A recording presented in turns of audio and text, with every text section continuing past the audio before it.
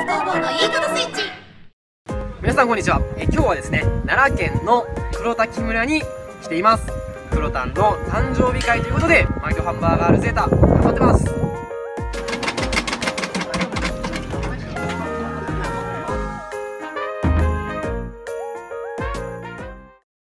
毎度ハンバーガールの皆さん今かき氷を食べているんですけどもかき氷のシロップは実は同じ味という噂がですねございます。ちなみにかき氷を売ってはったおばちゃんはいやそんなことないよとおっしゃられておりましたが一体どうなんでしょうか。今日はそちらを検証したいと思います。それではですねあの皆さんあの目をつむっていただきます。で目をつむってる次に僕がかき氷をシャッフルします。仕事レモンとメロンがあります。それを目をつむってそして、えー匂いも嗅がずに食べていただきましてそして一斉の出で味を言っていただきましょう。シャッフル中。シャッフル中。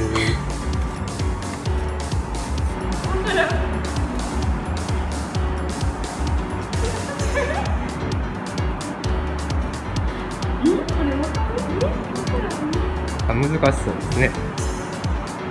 え分かった。さきさん分かった。それでは一斉の出で何の味か言ってください。一斉ので答え合わせ目をオープン。まさかの。全問正解。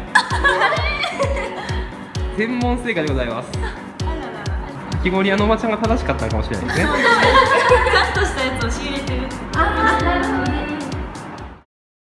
ということで、えーアイドルの手にかかればかき氷の味は見分けがつきます。違いがわかる彼女たちでございますでしょうか、えーそれでは皆さん明日の動画もお楽しみに。それではまた。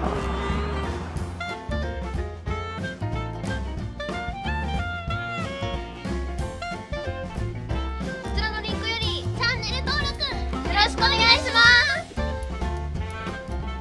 イーゼル芸術工房です毎週末通天閣地下スタジオ通天にてフリーライブを行ってます。私たちに会いに来てくださいね。そして毎月末はイーゼル芸術工房のマンスリーライブがあります。私たちも出演